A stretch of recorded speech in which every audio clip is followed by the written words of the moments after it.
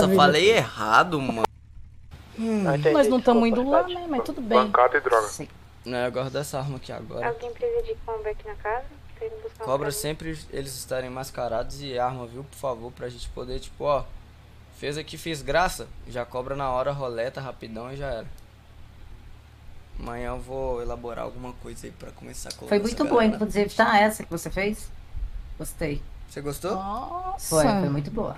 Cê é louco. Muito mesmo. Essa aí é só a Tipo, ponta amassou. do iceberg. É, Eita.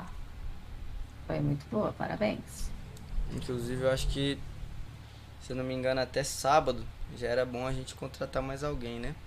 Pelo menos pro. Rapaziada, alguém vai fazer rota de droga e aí? Bora. nesse. Sim. Bora, eu vou vender também. Alguém com experiência de já poder começar a ajudar na movimentação. Hora, né? Vamos conversar sobre da- isso. É, não- a gente é- conversa sobre isso. A gente precisa, assim, chefe, sabe que eu nunca, todos esses anos de trampo, nunca te chamei pra conversar da outra forma lá, entendeu? É porque é um assunto extremamente porta-malas delicado, entendeu? Certo. Tá, fechou. Deixa eu guardar Fechou? a arma ali. Fechou. Vou guardar a minha também. Ô, o- não passou o contato de quem restaura, não, né? Eita, galiquetinha, pro projeto fixo.